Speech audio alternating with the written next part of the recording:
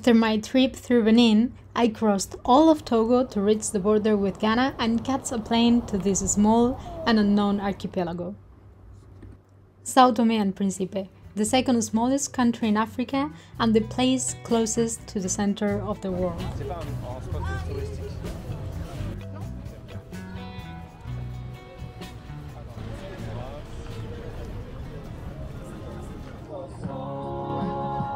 We began our journey with a brief stop in the capital of Sao Tome.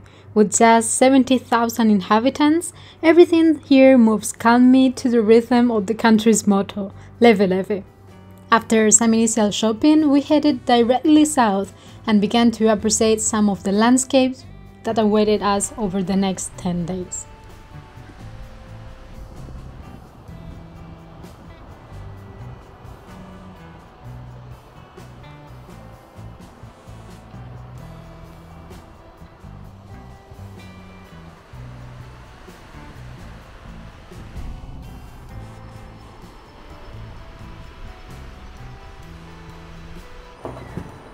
And then we arrived to our first destination, undoubtedly the best value accommodation of all we visited. The service was incredible and the views were breathtaking.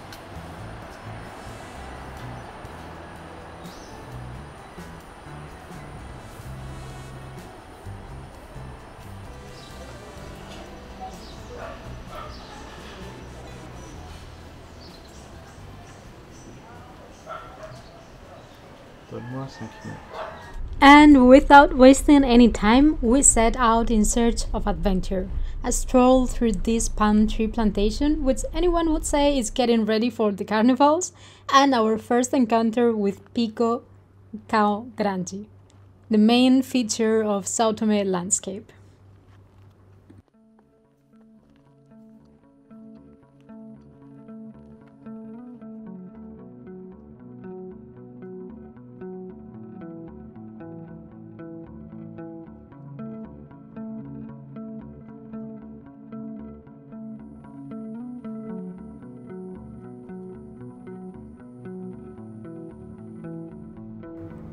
Sao Tome has been an independent country since 1975, and from its colonization, it inherited its language, the Portuguese.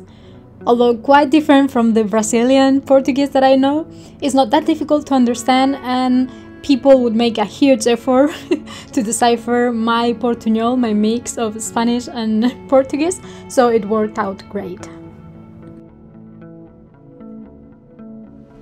Here, most of the people live off agriculture, fishing, and tourism, and the lifestyle is still quite rural and traditional. As for food, the island's diet usually includes fish, seafood, bananas, cassava, sweet potatoes, rice, and tropical fruits such as pineapple and mango.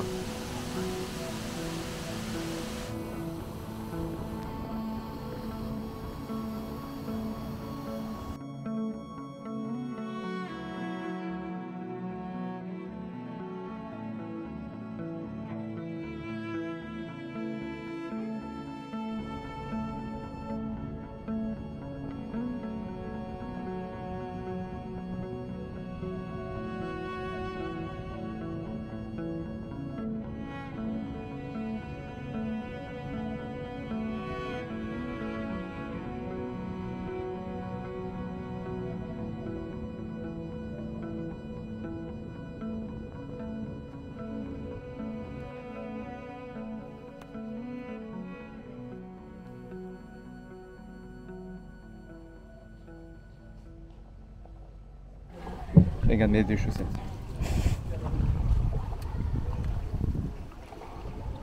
Pourquoi? Et je pense que j'ai lavé un plus souvent.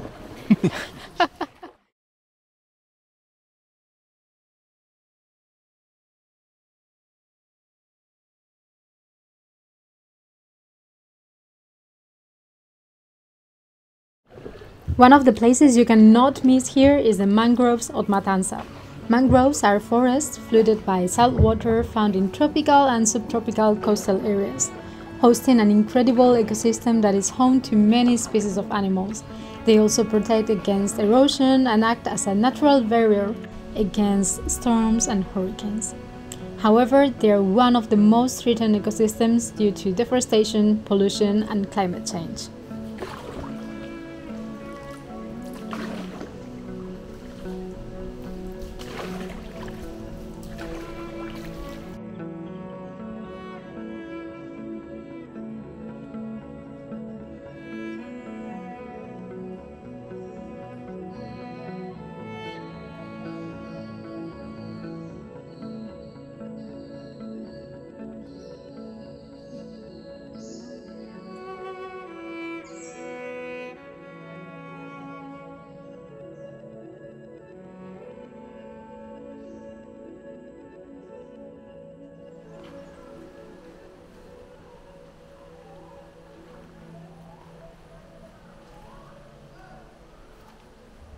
And finally, we reached the south of the island when one of the locals we met warned us the residents of a village are protesting the poor state of the roads. They have set up barricades and blocked the road, no one can go north. Sao Tome has only a single road that is impossible to pass without an off road car, and the residents have been asking the government for a solution for years. So while we wait for the government and the protesters to reach an agreement, all we can do is endure and remain isolated, albeit in paradise.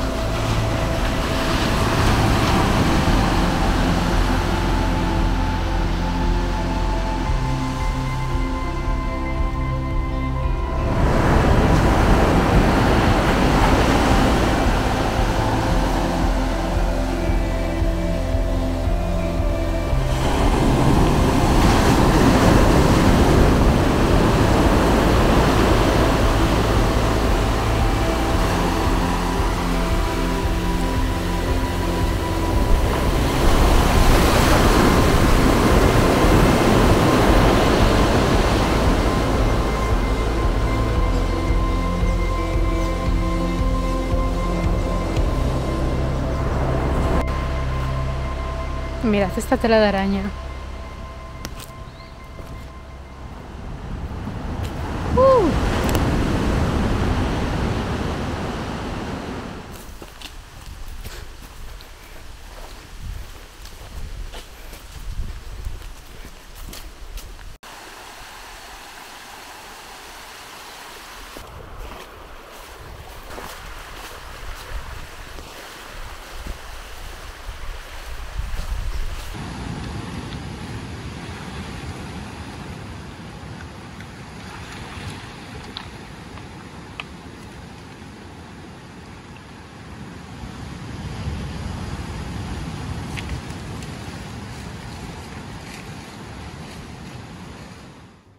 And well, many thanks to our friend Bastien, a Frenchman who has a beautiful accommodation where he also grows vanilla and distills his own alcohol.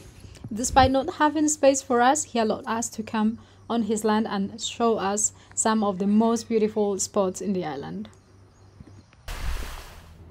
And taking advantage of the roadblock, we did what we had come to do look for the center of the world.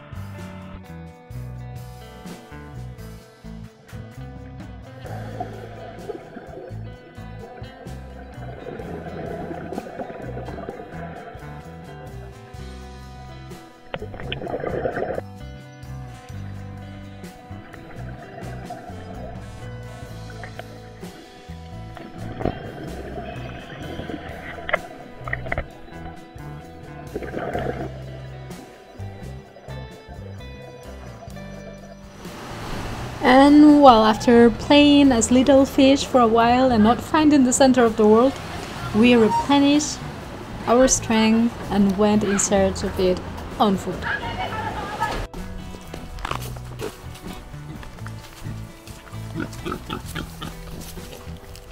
Okay, okay, it's true that maybe the actual center of the world is a bit far, but Ilhéu das Rolas is the closest land point and it also happens to pass right through the equator, so it counts, right?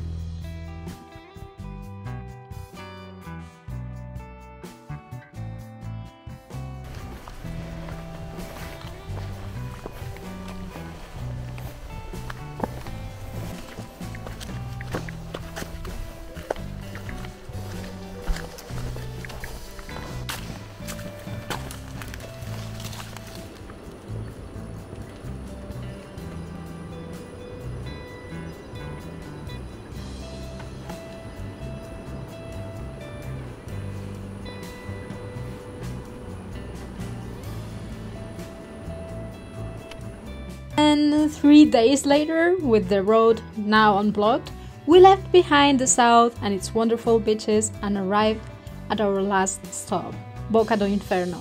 The last stop of this video, but not of this trip. So see you next time.